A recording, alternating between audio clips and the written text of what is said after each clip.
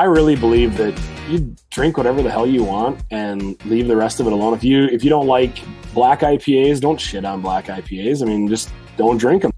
And that was Mark from Drekker Brewing Company on this week's episode of Brew Roots. Thanks for tuning in to another episode of Brew Roots, where we tell the stories behind your favorite beer. This is Sound Guy Ryan, and joining me as always is Erica and Matt. That's right, we're here. Here we are. It's been a, quite a week. Oh, it's been a week. We um, did lots of drinking. Ryan is officially done with school. Um, I got the official word. Oh, congratulations official again. word. What, what? Thank you. Um, you're a master. I am a master. Yes, A master I, I am. of I'm, sound. A I'm master of sound. technically, if you want to really be technical, I'm the smartest one here. Technically. I mean, yeah, sure. sure. Yeah, okay. On paper. Yeah, on paper. On paper. I'm- I'm- Wait, you don't have a master's degree? No. Neither do I. High five. all I am is an educated idiot. That's all you gotta say. Well, on paper, Ryan, you are an educated idiot. Absolutely. Well, yeah. congratulations. Thank you. Seriously. So I'm sure many of our followers and listeners um, have read um, uh, all the posts that they've seen out there from Rat Magnet, uh, Brienne Allan from Notch. Um, yeah, it's it's been a tough week to read a lot of those posts, um, and we're here to kind of just spread the word that we want to be a positive change in the industry uh, across the board, right? You know, whether it's speaking up um, or giving the right resources to people out there who uh, have experienced any sort of discrimination or abuse or just not feeling like they belong. Because there's no space for that in any industry, whether it's music. Right. It's not just the beer industry. Beer I know that's what's industry, being highlighted, you know, this past week. But um, you know, this issue is worldwide and it's in every industry. Yeah, and you know we're not here to play uh, the judge, the jury, or the executioner, right? You know, there's there are two sides to every story, um, and we want our listeners to be informed of you know some of the resources out there. So uh, you know we always joke in the doobly doo below, but but seriously, in the in the link below. Um, we are going to list a few of the resources. Um, I know the Brewers Association has a code of conduct that um, needs to be utilized. Yeah, and they also have a resource where you can, you know, tell, um, report whatever you've seen Yeah, absolutely. or experienced. Um, and if you're lucky enough that you work in um, a place of work, you know, whether you work like myself in the engineering field that has a an HR department or something like that, um, you know, we encourage you to report these things because you know whether these story all these stories are true or, or or none of these stories are true, you know, you need to report these because people need to be held accountable and, and ultimately people need to be kind and, and humans, right? Mm. You know, I think this is what this comes down to. Uh, you know, we got to leave this place better than we we received it, and uh, yeah, I think uh, say if you see something, say something, and uh, just be a, a human. Yeah. So uh, you know, I don't I don't have much more to talk about this week. Um, we have a longer episode with our friends Drekker. Um, Ryan, are you okay with going to the interview? Absolutely. Yeah. So just as always, support local And be kind. and be kind. And get ready for mass reopening. That's right. May 29th. What? What? And uh, you know, we'll see you on the outro because I'm sure we'll be a lot less more professional than this. and uh, cheers. Cheers. Welcome everyone. Thank you once again. You've made it through our intro, which is It's Oh. always a feat. it's always a feat when we that, have so listeners who've made it to the Great job. the meat and potatoes, if you will, of this interview. um, and I'm very excited because we at Brew Roots, we have a mission. We wanted to get 50 breweries from 50 different states. Yep. Um, and we got one in a state that I desperately want to go to for no reason other than like, I just want to go to this state. I've I've told people no no like I've told people like I want to go to North Dakota. Cool. I, I don't know why. Yeah. I mean, and I think I'm Is it is it the movie? Does does that? The the correct answer I think um, Mark is looking for is the beer. Yeah, because I, want to go. I want to go to Drekker. No, Yes. uh, um, yeah, no, that is a huge reason. Uh, but yeah, I like the movie, I guess. But uh, Fargo, if you will. yeah, Fargo. Yeah, I've heard of it. Yeah. It's new. It's new. It's a not new. place. It's, it's uh, so Mark, what's up? Uh, happy to be here with you guys. This is fun to talk about. I'd love to talk about all the things that I think make Fargo an awesome place in North Dakota, a cool state. Yeah, I would love to actually learn more about that. Um, but before we get into that, um, can you just introduce yourself real quick? Tell us your role at the brewery and uh, your first memory of beer. Oof. Um, so my name is Mark Bjornson. I'm one of the uh, co-founders. I'm the president at Drekker Brewing Company. Um, and my first memory of beer. Mark, it's weird. That, it's weird that you said that. You, it, it says you're the captain of the Drekker ship. So I, I, I, I we have some we have some conflicting reports on your role now. So Yeah, we we trade them around like they're like revolving, you know, musical chairs of titles. yeah, yeah.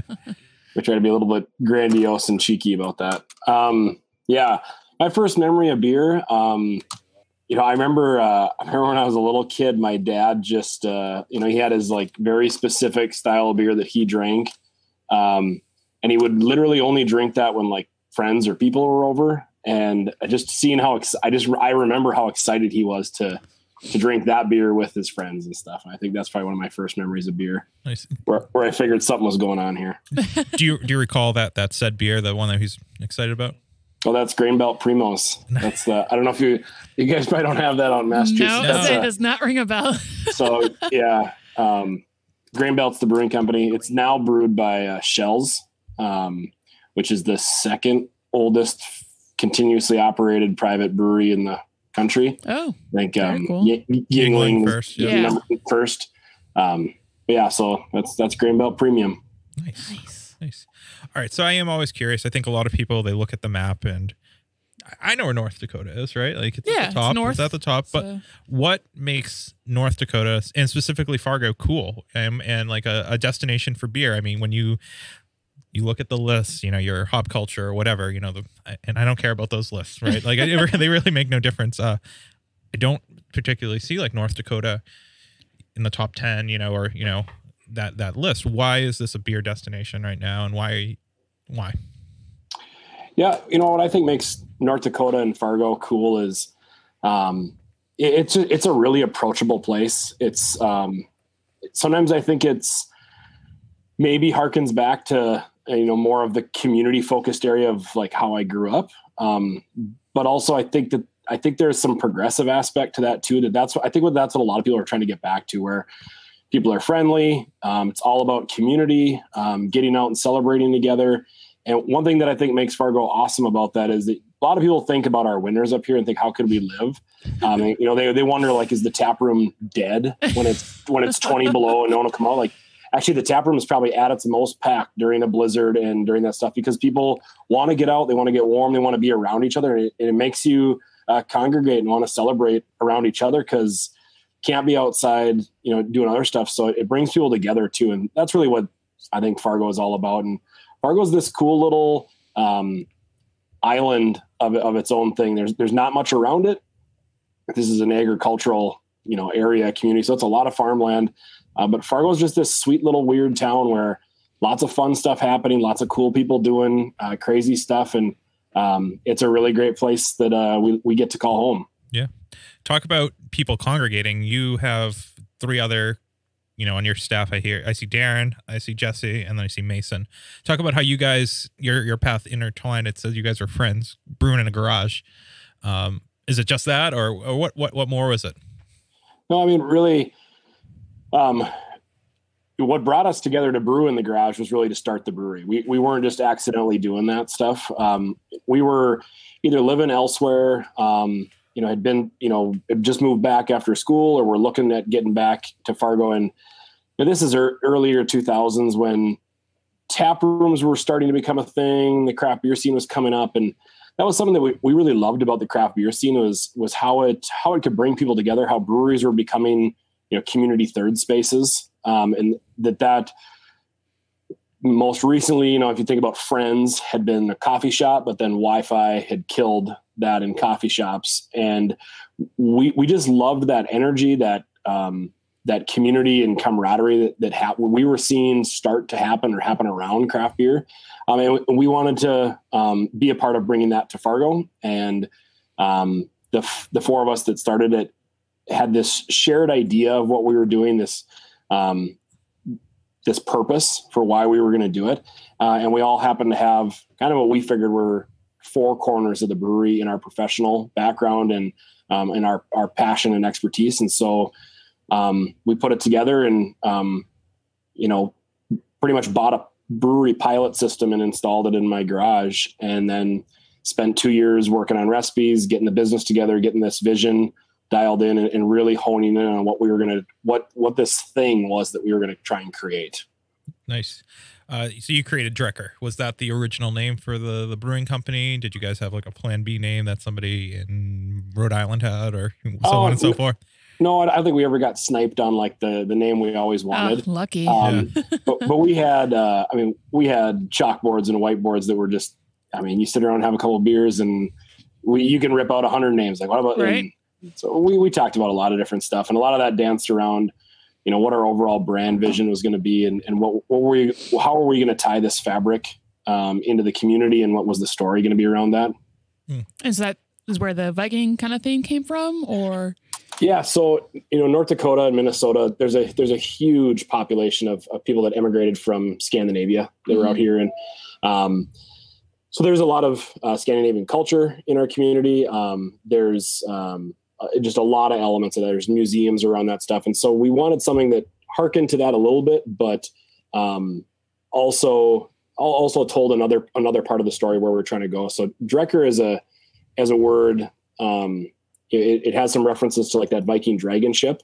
Um, and so there's a big rebuilt Viking ship in, that somebody sailed all the way to Norway and it's in a museum now. It's just this really cool element of, of, of our community. And then Drekker as uh, part of its other, the root word Drek means that's to drink. That's like the verb in Old Norse and in, and in Okay. Icelandic, uh, Icelandic, which is like the current language that's closest to Old Norse or that Scandinavian root language um, Drekker is the term for what it means to go out and share, like share a drink around a table and kind of the camaraderie and, and to drink with friends. And so we loved all of those elements getting put together. Didn't really have to mean anything to that because that was going to be the whole intention of what we were driving out anyway. That's where that's where we landed on that one. very cool. Yeah, I that's love it. I love the message there. Yeah. Uh, what year did you guys first open? Uh, So we, we opened our first brewery uh, in October of 2014. wow. So right before everything took off, beers were still kind of in bombers at that point. uh, the 16 ounce Yeah. cans didn't take off a, a little bit later. But uh, Yeah. what were the, some of the first beers that you brewed, and are those still in rotation today? Um, so when we first opened, um, you know, we were doing a couple different versions of like American IPAs. Uh, we had an uh, Irish Red, uh, a Black IPA. I really thought that Black IPAs at that time were going to be the next I IPA. still hope they are. offshoots. We I was love still them. hoping for yeah, that, yeah. Uh, I, we we actually did a collab a few years ago where we took our current flagship IPA recipe and uh, pretty much just subbed out some base malt and put in a little bit of like Carafa three on you know dehusked debittered Nice. uh, black, and it was it was everything I ever wanted a black IPA to be. And yes. it was it, it was good for what it was. Um, and then we had um, uh, you know porter, um, and a few other beers, blonde ale that we that we ro- uh, rotated around, and then very quickly we started um, getting into sours um, Yeah. shortly after opening. Now, are you guys uh, kettle souring, or is it all? Uh, Um, so all of the beers that you probably know us for are all kettle soured. Yep. Mhm. Um, we have a huge warehouse of um, uh, mixed and spontaneous firm yeah. sours that are going right now. Cool. Uh, we've released a few of them over there, but those are probably some of those are still. We have about a three year time horizon on a few of those beers, so they're maybe a year or two Wow. away. Yeah, yeah, that's awesome. so those beers that you mentioned, yeah, you know, you said the blonde, the the black IPA. Are any of those uh, still on tap today? Do you harken back to those recipes, or completely different? Um, so we still make our uh, our Irish Red. That's Broken Rudder. Um, That's one of our most popular beers around here. Just is super approachable, kind of that Irish Red pub ale. Yeah. Um, and then we still make our porter out of that. That's Pillager Porter. Um, and so the both both of those are still really popular in Fargo and really popular at the tap room. Um, but we make about I think last year we did 125 different beers Oh, uh, over the year, and and 80 to 90 of those were just brand new. wow. So we keep we keep them around, but there's a heavy mix. yeah. Yeah. Sounds like it. So has the uh, the hazy IPA craze taken over there, or uh, not yet? Oh yeah, no. So we were we've been brewing hazy IPAs since uh, probably 2016, Mhm. um, and um, you know I I love drinking American IPAs. Um, I never felt I'd say I want we wanted we wanted to make a ton of different beers. We wanted to always Clearly. be extremely and I and I I just I, I never felt like an American IPA was a good way a good platform to do that. You know, if you get a good American IPA, you stick with that. There's there's balance and there there's I don't think people want to have seven American IPAs or West Coast IPAs on of the 14 taps they have. yeah. I don't you think have- customer You haven't been to Massachusetts. to me, I mean, and maybe that's personally. I just Yeah. I, I don't want to drink five different American IPAs in mm. succession because just we personally the would agree. yeah, just the nature of how those beers are built. By the fourth Right. one, I can't even taste what hops this is anymore. Oh, yeah. It- it- it's Hop- not bad. It's just you get There's hop there- burnt out. It's like you get hop burn. yeah, your palate's Yeah. burnt I out. I was get like you get fuzzy tongue Yeah. off, off of that. Um, but with hazy IPAs, uh, it's phenomenal. I mean, it, it that's all you want to do is make different ones and try different ones. And so uh, we did our our first hazy we were working on in 2016, and um, so th- that was Wheeze the Juice. And once you know, back then that was barely something people were talking about. There was tons of folklore and um, you know, like is it the chloride level? Is it the folklore? is it the chloride that makes the softness, or what? You know, how much oat or wheat, or you know, what's the secret? And yeah. People putting always gonna be- flour. Yeah. yeah, putting flour in there to get permanent haze. There's, I mean, there's tons of stuff. Is it Conan or is it London Ale three? And Right. um, you know, it was kind of like everyone kind of talked about. There was like a secret ingredient that was always involved, and it's like just what it happens to be is there's like 18 different variables that you just have to dial in and um, so then since then we've just ripped out a million of them Yeah. and we we love hazy ipas that's um, yeah they're phenomenally popular out here and we were kind of one of the first ones that pushed that forward and, and we love them Yeah. Well, Before we get into your sour program and what the beers that people know you from, we have to get a quick word from our sponsors. So take it away, sound guy Ryan.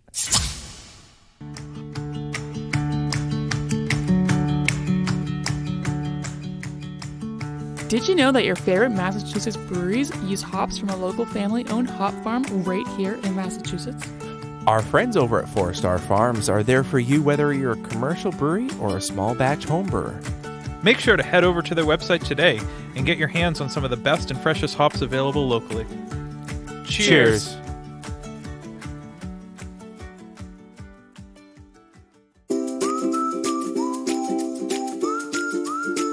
our local homebrew shop, Beer and Wine Hobby, you can get everything you need to make beer, wine, cider, cheese, and more. Not sure where to start? They have knowledgeable staff there to help. Beer and Wine Hobby is family owned and located in Danvers, Massachusetts. Visit their website, beer-wine.com, and use our promo code BREWROOTS for 10% off your online order today.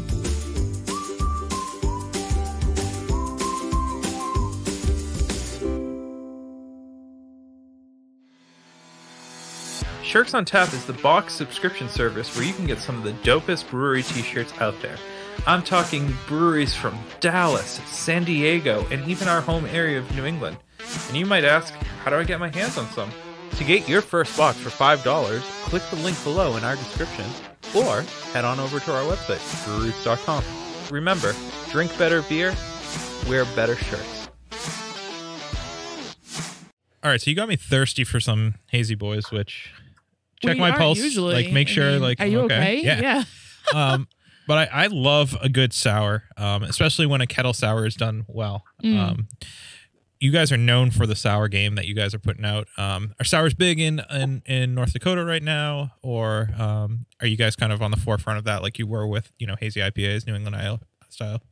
Um, I, I mean, I, I think we definitely drive the market out here. We're the largest brewery, one of the oldest in the states. Our sours are really popular out here, and you know they fill the brewery, and um, we have a lot of fun with them. So they're they're, you know, it's it's a we had to get people used to those, um, but I think as a country, you know, as the whole American craft beer scene, those were you know around 2015 is when we were pushing those out. Hmm. That was kind of hard to describe to people like that hadn't heard of sour ales before. Right. Like, Yeah. You shouldn't call this sour then. They, they think of it immediately like sour milk and it's like let's call them tart ales. Oh yeah. right, right, right. Um, Yeah, no, they're they're huge. it's always interesting. We have a couple breweries out here that use passion fruit in their sours. I think last week I, I talked to Erica, and we don't actually know what passion fruit tastes like. Correct? Yeah, there's like a, a couple different fruits that just are like, what are these? or guava. Or guava. Can you or, um, explain what yeah. passion fruit tastes like in beer, and what's the intended purpose for passion fruit? So we always joke about uh, well, guava to us is like an insurance policy. It's it's always going to be awesome. It's going to make everything better. It's got Yeah. this great body to it. Every then- hazy IPA, New England style IPA, is like we have guava or pineapple. Yeah. Yeah. Mango. Okay, all right. I know what those two taste like, but guava. I mean, like Yeah, guava also happens to be one of the cheapest fruits available. So Oh, that nice. that's I mean that's a reason why it gets used a lot. Yeah. Right. Um, but uh, but passion fruit is one of the most expensive fruits Yeah, that's available, and I mean it is just it's freaking amazing. It's passion fruit to me tastes like um, incredibly intense, um, very tart, like mango tropical fruit um, flavor. It's it's like when you get that perfect sweet, almost tart mango. Mhm. Passion fruit is that concentrated in times ten. It, it's Wow. just it, there's a, just a massive intensity to it. It's also a super weird fruit to eat because it's comes in like these little you know little Hard fruit things. things. You, Yeah. you cut them in half, and it it looks like like alien innards. In Oh, there. yeah. It, it's like yellow. I mean, it's kind of it's really similar to um, pomegranate, where you're kind of eating these seeds. Mm. Um, but you know, pomegranate holds together almost like a corn kernel. right. yeah. Um, uh, passion fruit is like Mush. gel. It's like gel that's just around this seed. And uh, but yeah, I mean, they're just it. We joke sometimes that like we're pretty sure we could just if we put enough passion fruit in a beer, we could call it a sour and we wouldn't even have to sour, it Yep. Yeah. because it, it's so intensely tart. Yeah. and it's it's great. It compl- it complements that lactic uh, Mm. lactic tartness uh, from a from a kettle sour just really well. So it, it it's amazing. Yeah. And your um sour beers, if you can tell us, is there any specific kind of uh, yeast strain that you use for those, or Yeah, so we have a house um, Okay. sour culture that we Mhm. keep alive. Um, so that was one of the things that, like back in 2015, we were we were one of the first breweries working on, and we worked with our our um, our micro lab, and then a few other breweries across the country. When when kettle sour started getting really popular, um, they had only ever really been done as I mean, it was a really niche beer. It was barely ever done. It was Yeah. sometimes done as, as a one off, Mm. um, and then we wanted to push these out into you know always be making one and there was not a lot known about how do you keep a sour culture going this for kettle souring yeah, and uh, so we worked for about about nine months with our lab and these other breweries all troubleshooting this and so in the six years that we've had that going i think we've only killed that mother culture once or twice Well, good for Um, you guys. Nice. That's awesome. and so then and we have the ability we can just reboot it and start over again but, but we keep that going all the time um that we it, it, it produces the sour profile that we like it does it in the time frame that we need it to do it um and um it, it, it works really well so we have our own house souring culture that we use and then depending on the sour that we're doing uh, we might use a variety of different yeast strains um, Yeah. we keep about three or four uh, in the in our brewery all the time for different purposes. But most of the time, we're using our house ale strain for that. We want something that's pretty neutral. Um, we need something that's also a really healthy and tolerant yeast strain because all of that acid and stuff that's built up in the sour beer that's that's there right at the start of fermentation for the yeast. gotcha. That's pretty that's pretty toxic to Mm. yeast. It, it makes it a inhospitable environment for them. Mm, So you, you need something that's pretty hardy, pretty strong. Um, you know, there's some yeast strains out there that are really great for the delicacy that they produce, uh, but they're they're relatively fragile. Um, so we need to, we need something that can tolerate that acidity. Yeah. So we, we use our house ale strain, which is kind of an American, uh, just kind of a super producing American ale strain. cool. Are you pasteurizing the sours at all, or uh, how are you preventing from re-fermentation in the can, or have you had that issue? Um, so we don't, uh, I don't think that any one mechanism like that is going to be a fail safe, uh, for you. Um, so we, we've kind of developed our own, um, we kind of, it's three prongs that we use uh, on that. So there's three different treatments, kind of process things that we do to our sours to prevent any re-fermentation. Um, obviously we don't talk a lot about what all of that is. yeah, yeah. Yeah. You don't have to go into it. Yeah, yeah.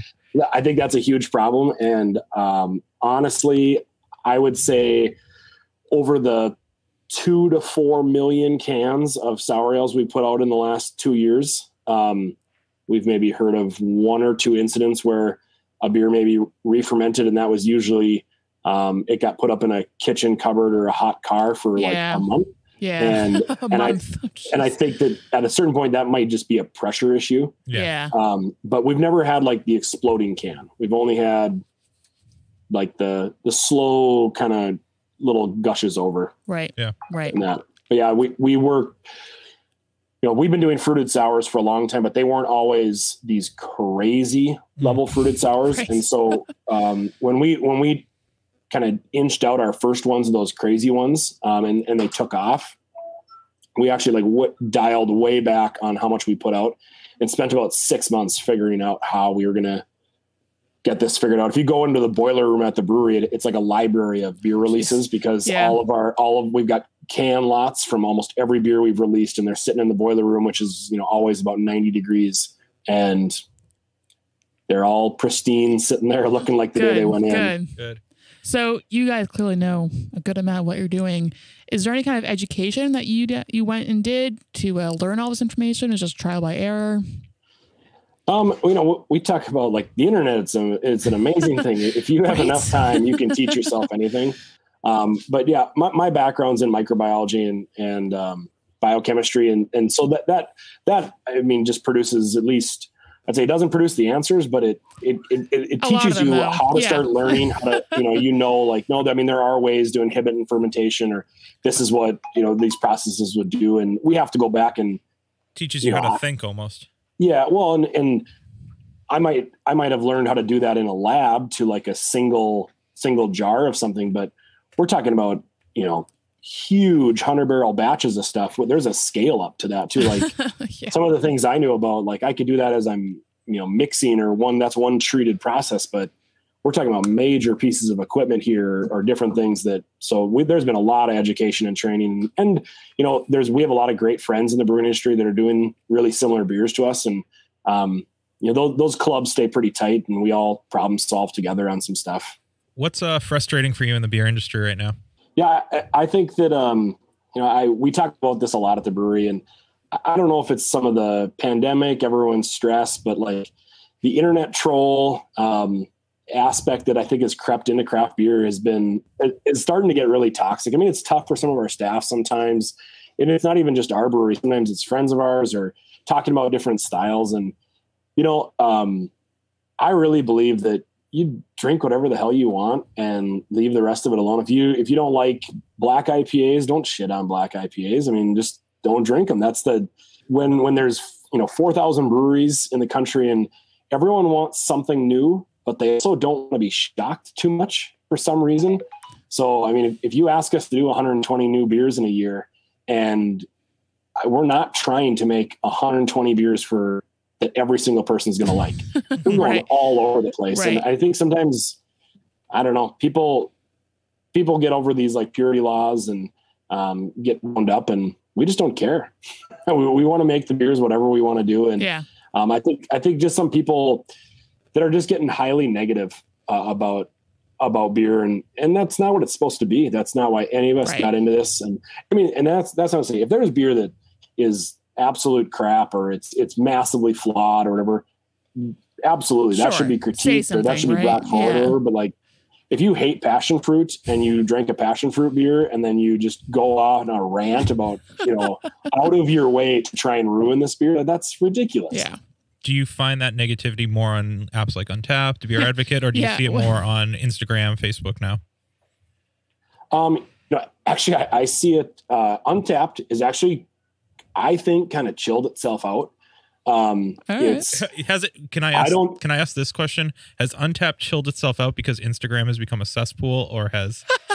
well, actually, I, I actually don't think Instagram's the worst either. I, I think that I think Facebook Facebook is the worst. Okay. I, I think face Facebook just because groups of are the pretty group- bad, right? Yeah. Yep, the groups and stuff, and it and it, it just it becomes these dog piles um, that, Yeah. that some people get into, and and I think that with anonymity and people get real confident behind that keyboard and and Mhm. you know a, a sock puppet account, um, I, I they just want to they just want to shit on some stuff and Yeah. Yeah. and I, I think I think that, that that people intentionally post things to get reactions because Oh, they're Definitely. 100%. they're feeding their own dopamine needs to get likes and reactions and comments. Yeah. And um and I, I just think like you know there there's awesome people in the craft beer industry and people are really pouring their heart and passion into this stuff. Don't shit on them for doing Yeah. that stuff. I mean these are these are real people behind these things and you know, shame on shame on you for stepping in the way of somebody's you know pride or some product that they really put their name on and why don't you go out there and do your own thing and I, so i think i think instagram for us we we mostly see instagram be pretty positive um you know that instagram's content based and so Yeah, Facebook It- it- opinion, yeah. Yeah and, and and and facebook is a community space it's an opinion and and Yeah. um, you know, so yeah, I, I, but I think, you know, Untappd used to be, I thought that there was a lot of people that wanted to be beer critics. And so they were started out on beer on Untappd.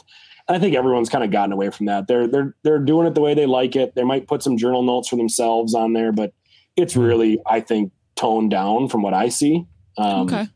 Cool. But yeah, I'm glad to see that because we've we haven't asked that particular question We in haven't. a while, Yeah, yeah. and uh, it's interesting to hear since the pandemic. I think we started reintroducing that one, but uh, 'cause a lot of brewers were like "fuck Untappd" for a long time. Yeah. yeah, Yeah. it was Still it was are. difficult and Yeah. i think you know it as a brewer it is you can go through a beer and you know within like a week or two we're going to have 2000 check-ins on a on a beer that we release and you will only remember the two comments that were negative and so there's a fortitude that you need to have to to go through and handle those um, but I think the thing that's great about Untappd too is that it's it's gotten such mass usage that the law of averages just take over. Yeah, And That's a good so point. you know that- every beer that- is a three five. so if you I mean if you look at a beer and you know it's pretty hard for your you know your local hype boys to influence a beer anymore because like I said you're going to get two five six thousand check-ins on this beer.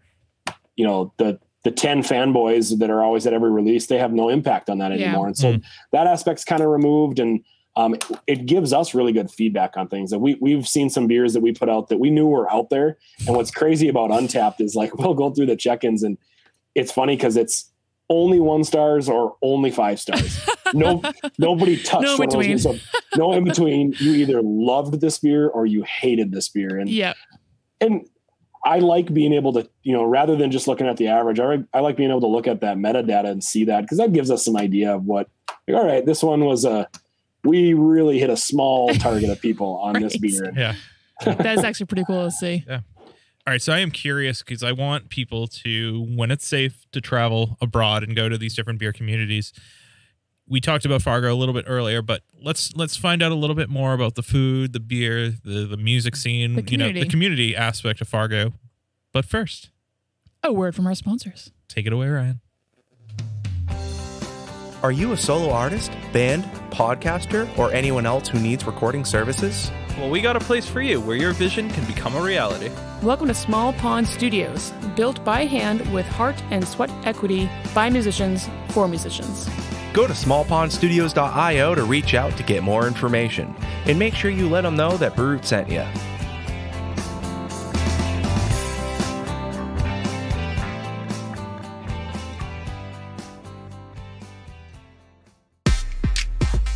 Hey, Sound Guy Ryan here. Didn't know if you heard, but we're part of the Hopped Up Network. There you'll find other informative podcasts about beer. So go ahead, follow them on social media, and visit them on their website, hoppedupnetwork.com, to learn more about the people, beer, and breweries from around the country. And until next time, thanks for listening. Cheers.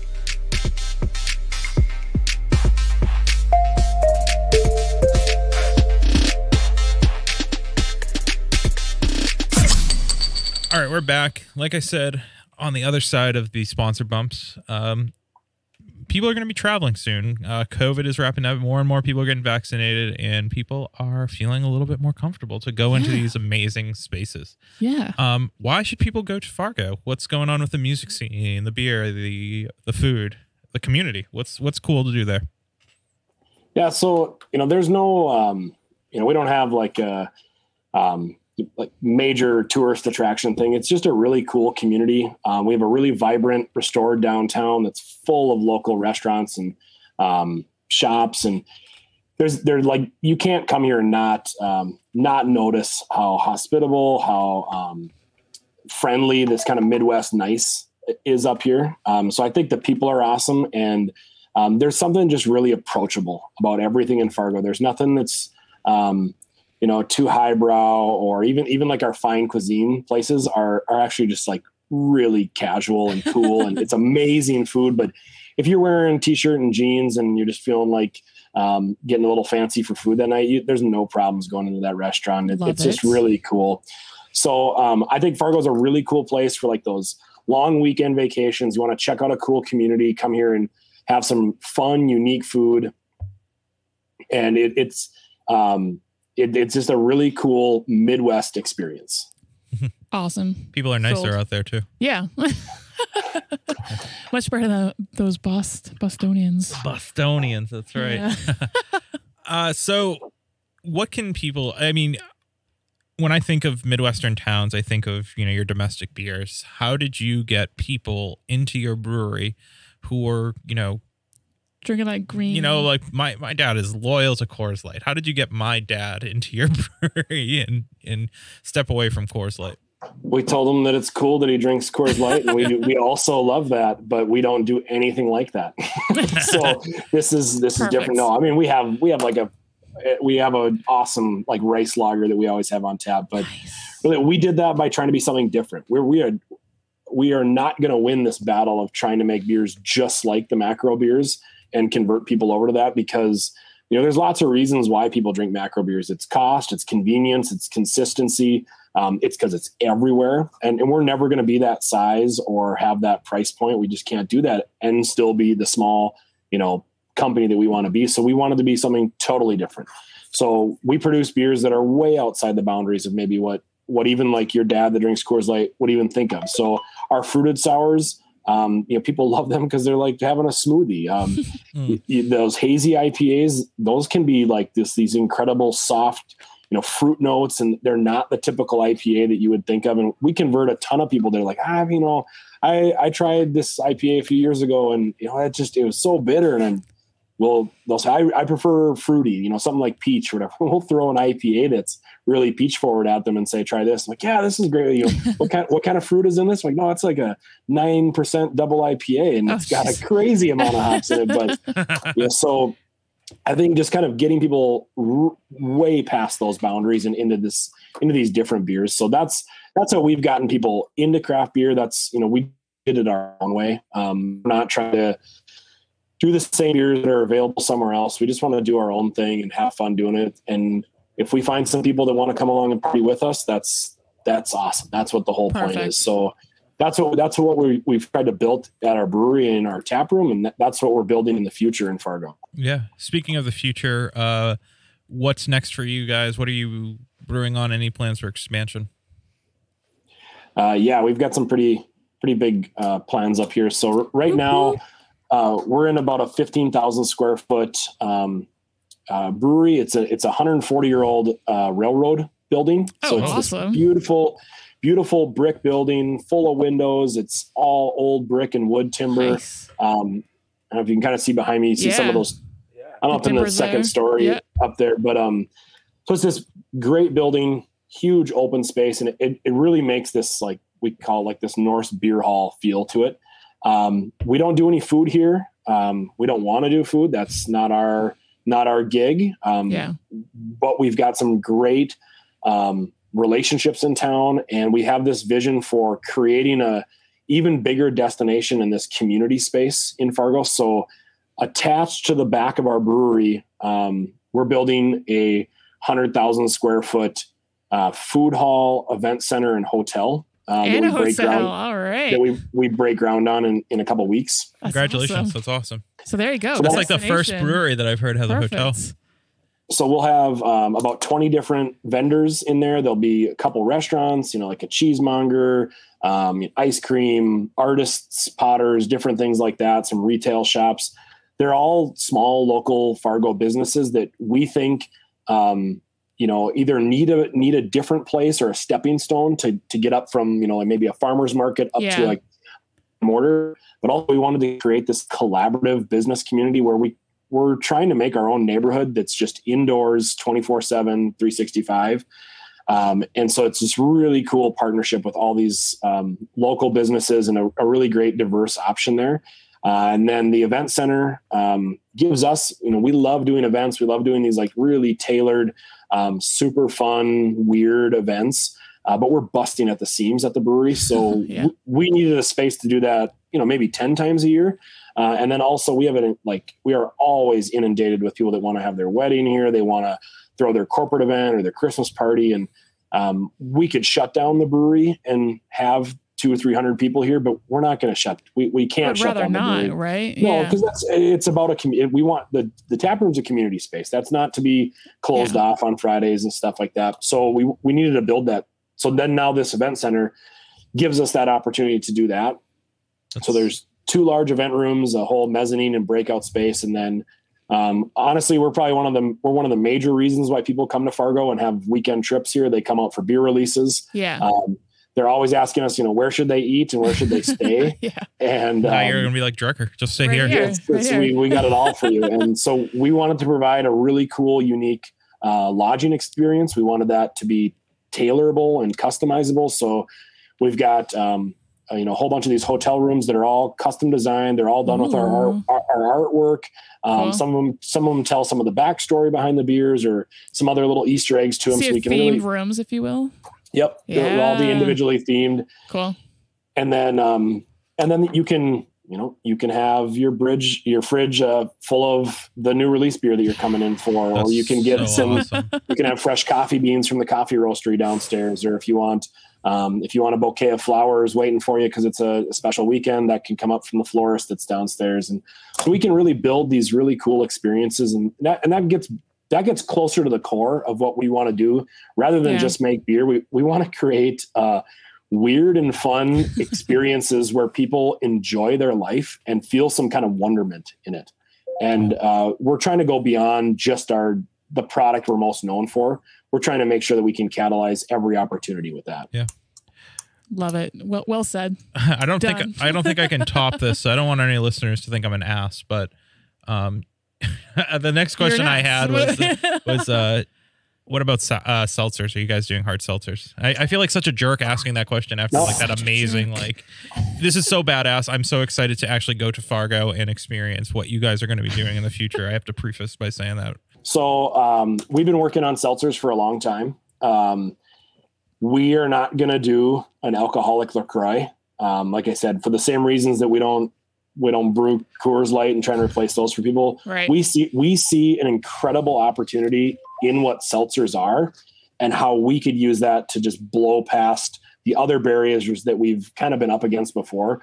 So we're looking at seltzers as a way f- to do um, gluten free, no lactose, yeah. crazy smoothie stuff. Um, there's flavors what? that we love doing. In, there's some flavors that we love doing in our sours or we want to pull off in our sours, but with the sour base or that tartness that's in there, it doesn't land quite right. You know, for fruit or things yeah. like that, it's un- unbelievable. It, it it really elevates that flavor. So, like, what? There's is... some more.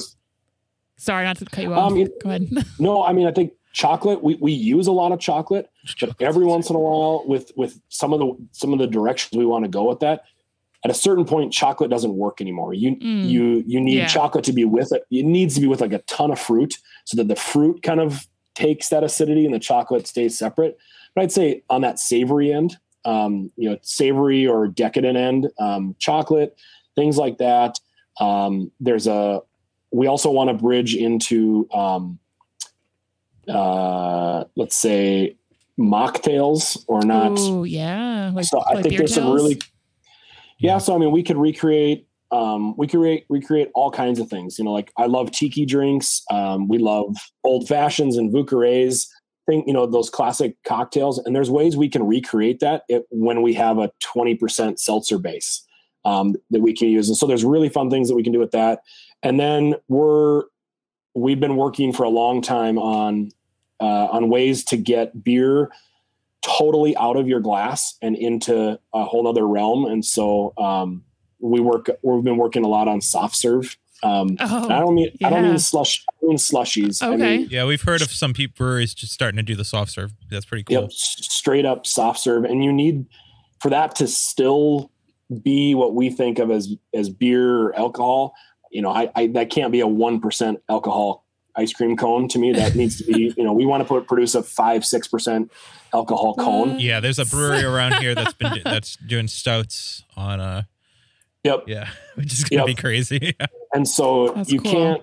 So you need something like a seltzer base to almost help Okay. get that alcohol back up. So we're there's some breweries, you know, I know some I, I know some like brew pubs that are doing them, and they're using like a bar where they're using uh, you know distilled alcohol to yeah. beef that up. But Yeah. but we're a we're a brewery, we can't do any of that stuff, so we have to do it just through the beer we can make. And so that's that's where we start seeing seltzers play into that. And um, so there'll be some crazy smoothies, some mocktails. We'll probably have um, we do a quite a bit of uh, cold brew coffee and like oat milk oat milk lattes that we have on tap here at the brewery. Mhm. Um, currently, those are alcohol free, but now we can offer a like oat milk hard lat- version. a hard hard oat milk latte Nice. Things like that. And so then when we get into the event center and when we're trying to do events and weddings or, or some of these custom themed things, we can even go into using that to make, you know, custom designed craft kind of beer cocktails for them. And there's no limits on what we can do really with That's awesome. when we start using seltzer base for that. Yeah that's awesome. Super excited. You've talked a lot about giving back to the community, right? You know, you you want to be a community space. Um, but what is the Fargo, North Dakota um beer scene community like? Oh, what, what, I, I thought you were going charity with that, but now you're going for like the beer scene. Okay. Yeah, no, I mean, Fargo's got a great beer scene. Um, there's a really cool mix of breweries here where everyone's kind of doing their own thing. Um, a lot of us started around the same time and there's, um, there's a lot of you know community events that we get involved with. There's a like phenomenal farmers market that almost all of us are at every saturday in the summer and serving beers. And it's just it's fun to have these overlapping areas where we get to hang out together and do that stuff. Um, and then you know we're um, we're kind of out here by ourselves. We're not um, we're not in like a major major metro area. So Mhm. it's nice to have a good group of breweries around here because every once in a while you know you a pallet of this kind of grain shows up two days is coming two days later and so we, we help Yeah. each other out with that stuff and, and that's that's what's great about the, Cool. the brewing scene is that um, you know you can lean on each other for things like that help each other out and and then we also um, at the end of the day we don't always want to drink our own beers we Yeah. we want different stuff and um, you know we know the beers that we make and that's kind of been our brand um, Yeah. because of that there's there's certain beers we just probably aren't going to do uh, but it doesn't mean we don't love them so it's awesome having other breweries that have a whole you know different ways of doing it different um, beliefs around that and like, like i said american ipas american ipas just don't really fit into what i think Drekker is going to be doing on our thing but there's there's a couple breweries in town that make phenomenal american ipas and so i love going Cool. there and having a few of them Yeah. Yeah. So that kind of leads into uh, one of our questions. What is in your beer fridge at home? What are you drinking? Um, so I when I'm at home, I don't really traditionally drink beer. Okay. Um, I, I, I, I, what do I'm- you I'm drink? not- Sound guy Yeah, Ryan's holding his head. Yeah. yeah, the this I mean, as you can probably imagine, I'm not home that much. Right, Uh, right. I, I, I'm I'm here a lot.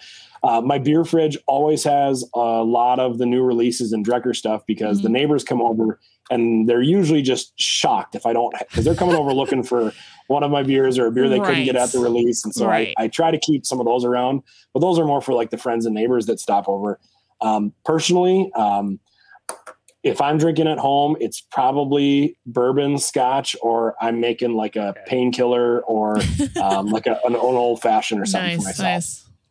That's Love my it. jam. Yeah. Ryan, you got a question? Ryan's into it. Yes, I want to know what do you want to learn more about? Yeah, um, you know, so as a brewer, I think one of the things I, I really want to learn more about, and then that I try to get into is as we build up a barrel age. I mean, we have a barrel age stouts are another huge part Mm, of, yeah. of what we do.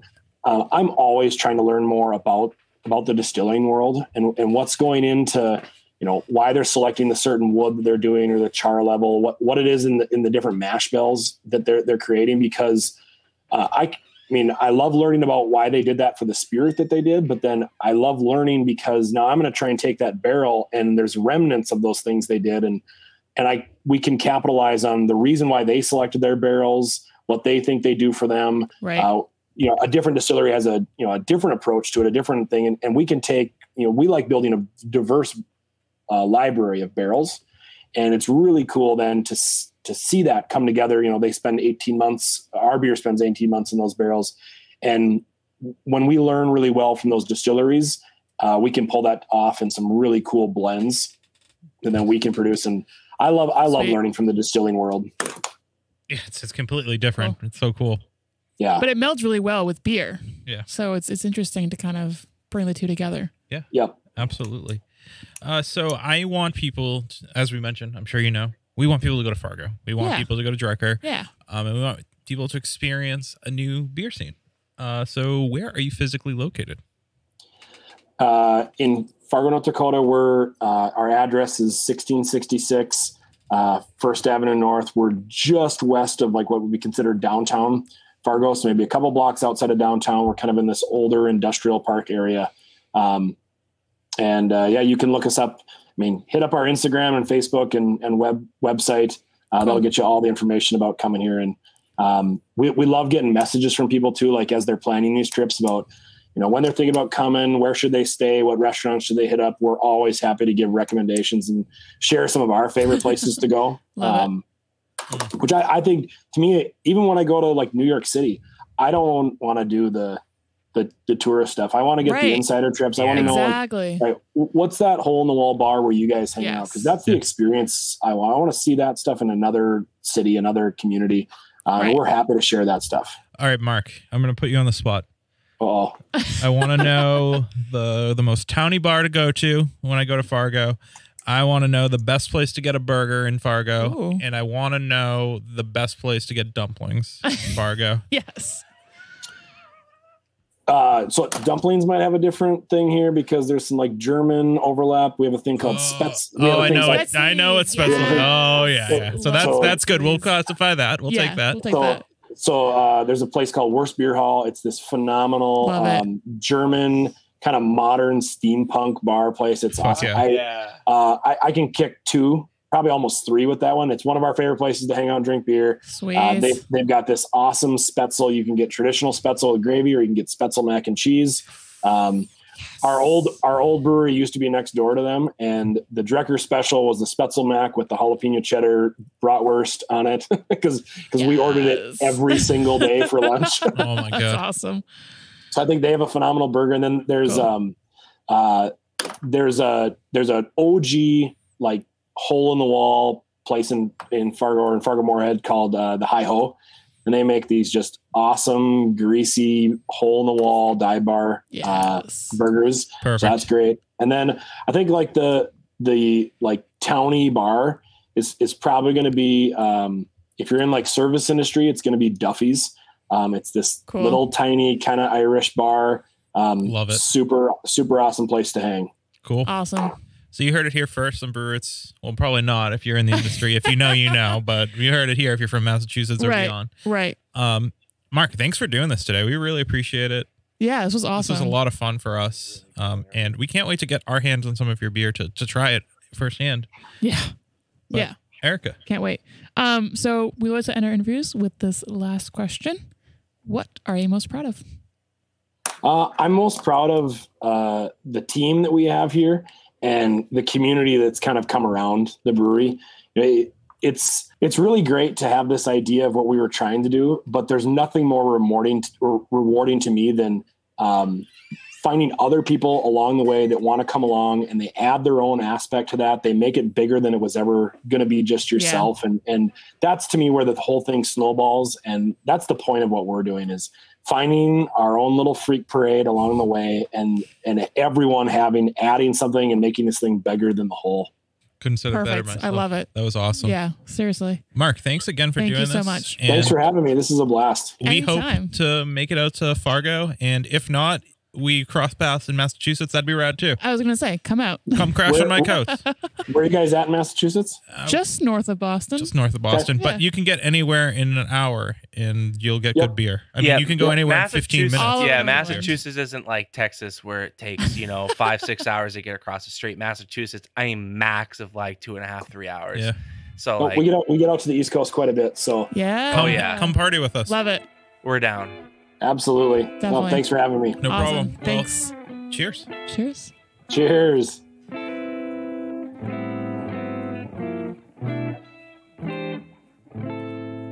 Well, well, well. It's Ryan's least favorite part of the podcast, Only if you could see my face right now. the outro. Thank God it's not a video podcast because Ryan is just shaking his head left and right. He's so mad. His hair's flowing in the breeze. It's actually a sight to be seen. but uh, we have an episode lined up for you this week that we're actually going to tell you. Dun dun dun. It's the beer that I drank heavily yesterday, and Ryan is currently drinking right now. Erica, do you want to spoil it for our listeners? You bet I do. We'll go ahead. It's Cigar City down in Florida. That's right. And we've been having to do these these, you know, far away episodes virtually. Mm. And don't get me wrong, we like doing them virtually. They're fun. But we want to do them in person. Yeah, Restrictions are getting lifted, and we're we're feeling a little bit more comfortable. we are. But we don't got any money. And the only way that we can do some of these virtual interviews is support from our awesome listeners. Uh, so we have a Patreon. It's www.patreon.com forward slash Brew Roots Podcast. Um, and we also have some other avenues. You know, if you want some merch, we have some t shirts and some sweatshirts available for sale. So uh, hit us up, let us know, and uh, help us out because we want to continue doing these podcasts, you know, far and away. Yeah, yeah.